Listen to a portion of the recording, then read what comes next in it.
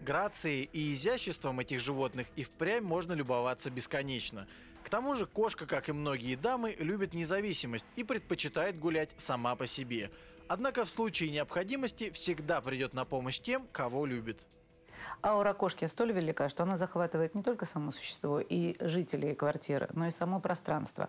Кошка чистит э, каждую комнату, в каждую кухню, в которой она находится. И также, а, если она ласкается около ваших ног, вы должны понимать, что она нашла у вас проблему, либо она видит, что вы больны, и она эту болезнь забирает на себя. Причем рискует собственной жизнью. Если вы не принимаете это, вы лишаете себя сами возможности жить в гармонии, в здоровье и в благополучии. Поэтому, если ваш усатый питомец решил уделить вам внимание, цените это и ни в коем случае не отгоняйте его. Кошка достаточно обидчивое существо, и если вы не приняли ее помощь, а оттолкнули в тот момент, когда она хотела вам помочь, в следующий раз она этого не сделает. И вы будете сами вариться со своими болезнями, бедами и обидами.